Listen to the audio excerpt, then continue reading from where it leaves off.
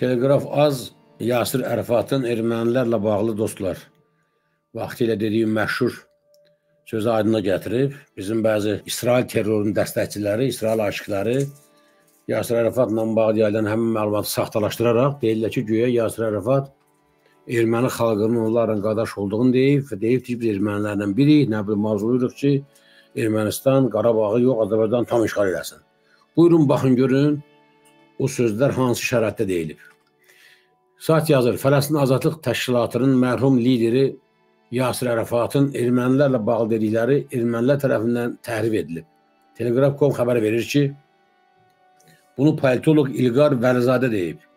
Onun sözlərinə görə erməni mənbələri situasiyanı təhrif etməyi və hər şeyi özlərinə sərf edən şəkildə təqdim etməyə xoşlayırlar. Məsələnin tarixi 2000-ci ilə gedib çıxır. O zaman İsrail mənbələrinin Ərəfatın Yerusəlimin erməni məhəlləsinin İsrailin nəzarətində qalması ilə razılaşdığın yazması ilə başlayıb. Fələstinin Əl-Əyyəm qəzetinin məlumatına görə Ərəfat bu təklifi qəti şəkildə edərək deyib: Erməni məhəlləsi bizə məxsusdur. Biz və ermənilər bir xalqıq.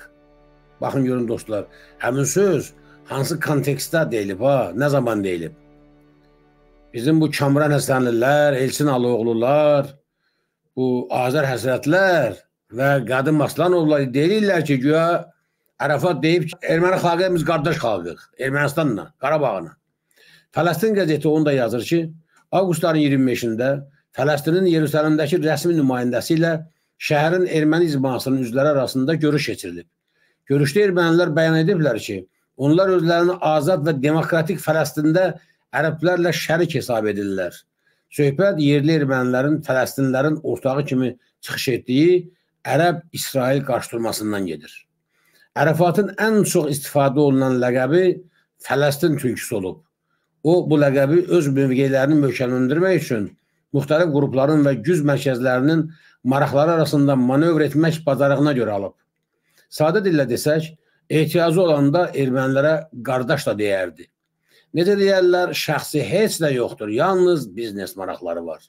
Erməni təbliğatı isə bunu Ərəfat ermənilərin qardaşıdır şəklində formalaşdıraraq bu məhsulu İslam, xüsusən də Ərəb dünyasında satmağa başladılar. Müəllif Mənsur Rəğbətoğlu.